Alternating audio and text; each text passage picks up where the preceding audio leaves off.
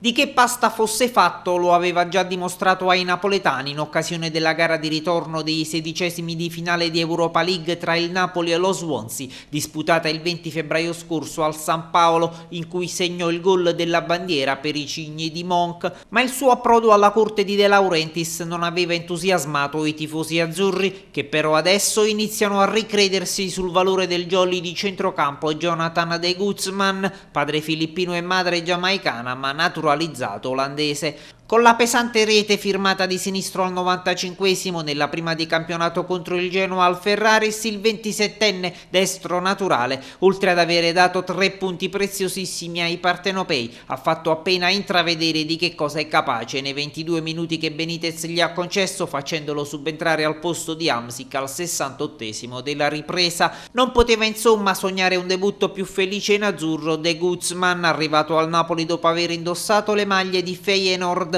squadra in cui è cresciuto calcisticamente, Mallorca, Villareal e Swansea. Con i gallesi in Premier League l'olandese ha disputato le ultime due stagioni facendosi notare per la sua versatilità. Ha infatti giocato sia come trequartista suo ruolo naturale che come centrocampista centrale ed esterno offensivo di centrocampo e sono state proprio queste sue caratteristiche a calamitare su di sé l'attenzione di Benitez che lo ha espressamente voluto per la sua duttilità tattica.